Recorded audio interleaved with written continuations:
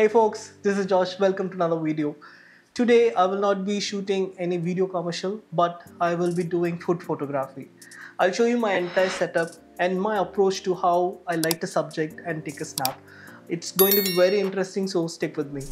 And uh, recently I watched again this movie called Joker, and I'm so obsessed with the look. Right? It looks so beautiful. Look at this frame look how beautiful the teal and amber work together right? It complements each other and looks so amazing and beautiful. So i was wondering what if i bring this look to my food photography right? Will i be able to achieve it? I have no clue. Maybe not. But why shouldn't we try right? So let's do it together today.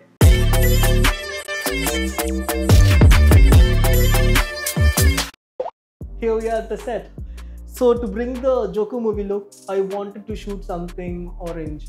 So I ended up choosing orange mocktail as my subject. Uh, don't ask me for the recipe. It's just a store-bought orange juice, but styled as a mocktail.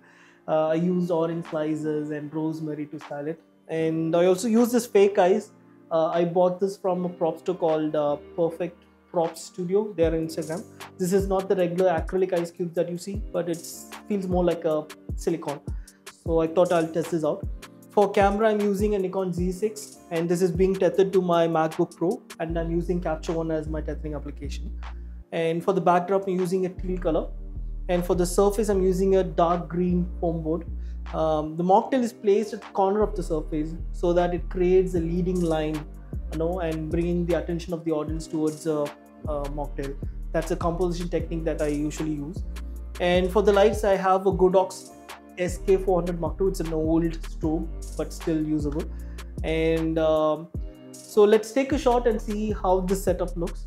A small tip for you folks. Even before you start any session, right, make sure that your slate is clean. Uh, what I mean by that is the only light source that is lighting up your subject should be the strobe or flash that you're using. No other external light should be lighting up your subject or affecting your subject. Uh, and how do you find out? You turn off your flashes, take a snap, if the image turns out to be black in color you're good to go. In case if you see any other light lighting your subject you change your camera setting a little bit to get rid of it. Okay? Doing so you'll get a clean light. So what i'm going to do now is i'm going to turn off my flash. I'll take a snap. And i should be seeing a black screen here.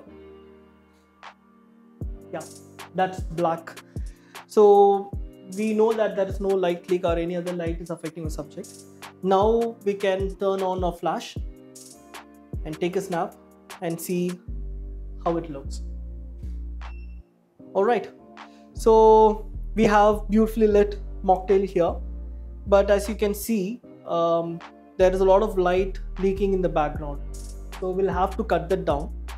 Um, I think I'll be using a flag, no black flag to cut the light uh, spilling onto the backdrop.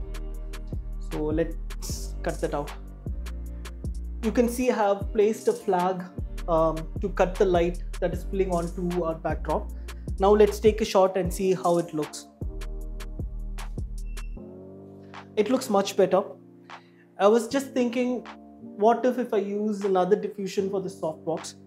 And uh, will it make it more softer?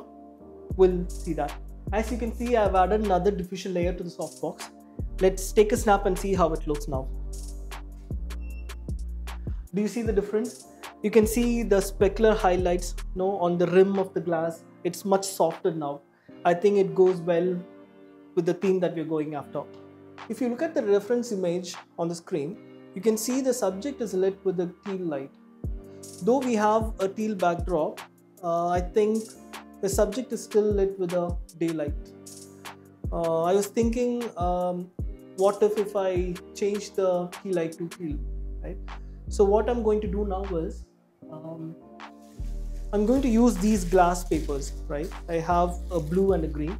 Uh, these are not recommended to use as a gel, but since I'm not using the modeling lamp in the strobe, I think we are safe to go.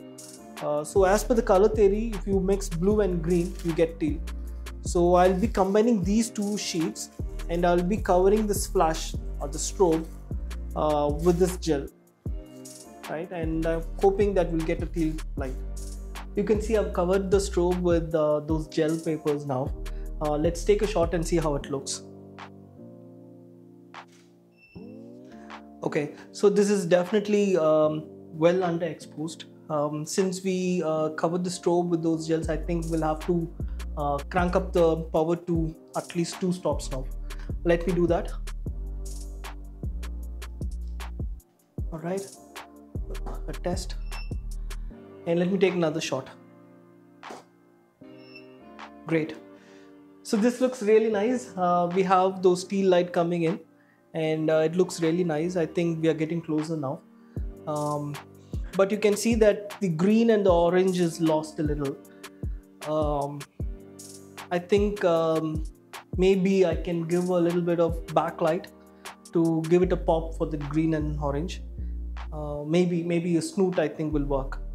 Let's do that and see. So I've set the snoot there just behind the subject. You may not be able to see that on the frame because it's just behind the soft box here.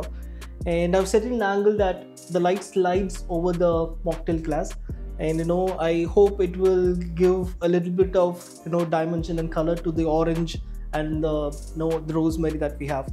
Uh, let's take a shot and see how it looks.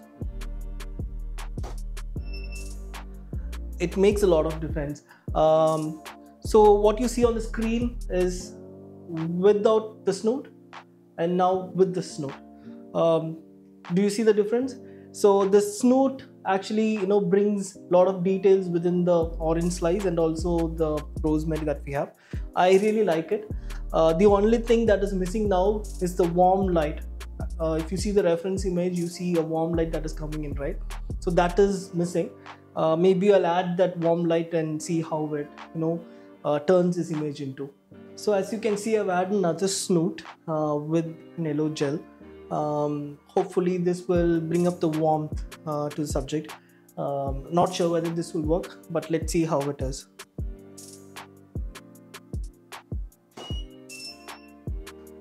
Actually, I don't see much of a difference. Uh, I mean, a little bit of more detail on the orange slices, but other than that, I don't see I know much of a difference or the warmth. Since the subject is also in orange color I don't uh, see more warm light coming in or you know it's visible to our eye. Um, so maybe I think I'll I'll ignore that. I'll take it out. And um, let me style this quickly a little more and then let's take the final shot here we are at the final stage so I've changed the styling a little bit so I added some orange slices and rosemary in the sides uh, but after I added those props, I kind of felt the snoot that we added at last, right? It actually worked. It's it helped us to like the props a little bit. So I kept it uh, as is. So what I'm going to do now, I'm going to spray some water and I'm going to take the shot. Let's see how it comes.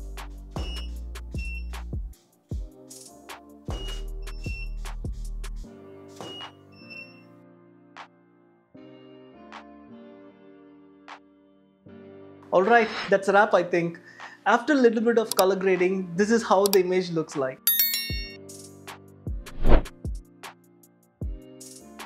So what do you think? Did we achieve the look? Yes? No? Put that in the comment section below. I will meet you in the next video. Until then, bye-bye.